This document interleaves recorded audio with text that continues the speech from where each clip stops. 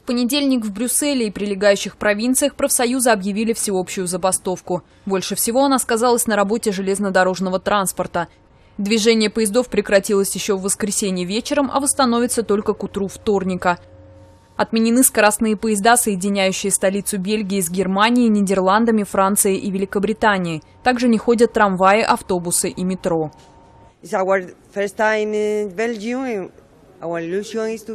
Мы впервые в Бельгии. Здесь много испанцев, поскольку там у нас период отпусков. Честно говоря, мы не знали об этом. Мы ждали поезд, но все было пустынно, на табло ничего не показывали. И вообще здесь никого нет и нет никакой информации. Мы не понимаем, что происходит.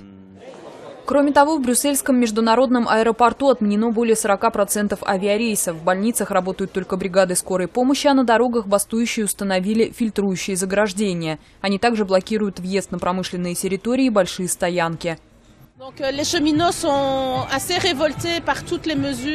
Работники железной дороги возмущены новыми мерами правительства. Их постоянно просят терпеть. Последующие пять лет будут действительно тяжелыми в плане условий труда, продления пенсионного возраста и урезания зарплат. Бельгийское правительство планирует к 2020 году повысить пенсионный возраст с 65 до 67 лет. Также в следующем году решено отменить пересчет зарплат.